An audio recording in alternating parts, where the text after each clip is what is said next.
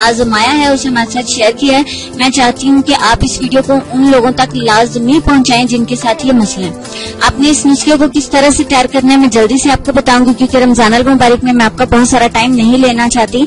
आप लोग ऑलरेडी बहुत थके हुए होंगे और गर्मी भी बहुत ज़्यादा है। आपने इस नुस्खे को तैयार करने के लिए जो चीज़ें लेनी है, उसमें आपने रतन जोत लेनी है, एक छिटांग सरसों का तेल, आधा पाव, प्याज तीन से चार अदद और नीम के पत्ते अंदाजन 200 से 250 पत्ते गिन के आप दो सौ या ढाई सौ ले लीजिए।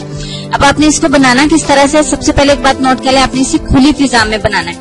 यानी कि छत पे, खुली जगह पे, जहाँ, क्योंकि इसको पकाते वक्त इसकी बहुत अजीब सी बुरी सी स्मेल आएगी। और आपने इसको खुली जगह पे बनाना है ताकि वो आपको परेशान नहीं करे। आपने क्या करना है कि एक कढ़ाई में तमाम चीज़ें आपने डाल देनी है। तमाम चीज़ें इकट्ठी डालने के बाद आपने इसे मीडियम आँच पर रखना है। यानी बहुत ज़्यादा तेज भी नहीं हो, कम भी नहीं हो। गर्म होने के बाद आपने वक्फे वक्फे से इस कढ़ाई को नीचे उतारना है और एहतियात के साथ अपने ऊपर छींटे मत डलवा लीजिएगा, किसी डंडे से, भारी चीज़ से उसको कूटना है। ठीक हो गया? कि चीज़ें जो है वो उसके अंदर मिक्स होते जाए। फिर थोड़ा सा गर्म करें, फिर उतारें और फिर इसको डंडे से कूटें। अच्छी तरह से यहाँ तक के एंड पे आप गर्म करते जाएँगे, बनाते जाएँगे तो ये पेस्ट की शक्ल तैयार कर जाएगा। यहीं पे आके आपको पता चलेगा कि आपकी दवा तैयार हो गई है।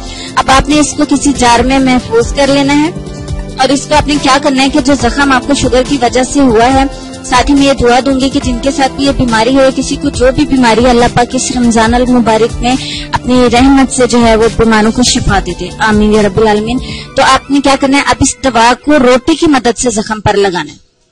उंगली की मदद से नहीं लगाना किसी और चीज़ से नहीं, रोटी का एक निवाला ले लें। और दवा को आपने लगाने से पहले थोड़ा सा नीम गर्म कर लेना। तेज गर्म नहीं करना, नीम गर्म आपने कर लेना जितना आपका हाथ, पाँव या जख्म बर्दाश्त कर सके। और रोटी के एक नवाले की मदद से जख्म पर अच्छी तरह से लगाएँ और छोड़ दें। आपने इसे चंद दिन वक्फे वक्फे से लगाना है दिन को लगा लें, एक दो दफ़ा रात को लगा लें तो उसके बाद आपने इसको छोड़ देना है। इसके ऊपर कोई पट्टी, कोई कुछ नहीं करना। तो इन ताला इन ताला चंद दफ़ा के इस्तेमाल से आपका जख्म बिल्कुल ठीक हो जाएगा। तो इस नुस्खे को आपने दूसरों के साथ भी लाजमी शेयर करना है। अब आपने क्या करना है कि वीडियो आपको अच्छी लगी है तो आप इसको लाइक चाहे नहीं करें, लेकिन मेरी आपसे रिक्वेस्ट है कि प्लीज़ प्लीज़ इसे सबके साथ शेयर करिएगा, ताकि जिनको इसकी ज़रूरत है, उन तक ये वीडियो पहुँच सके। अब चलते हैं हम अपने आज के लेसन की तरफ़, जिसमें मैं आपको ये कहूँगी कि इंसान की तमाम इतनी मेहनत से वीडियो बनाई है, एक लाइक तो बनता है ना। और दूसरा ये कि आप हमें इतनी बड़ी दुनिया में दोबारा कैसे ढूंढेंगे? तो इसका हल ये है कि आप हमारे चैनल को सब्सक्राइब कर लीजिए। और इस बेल के आइकन को क्लिक कर दीजिए।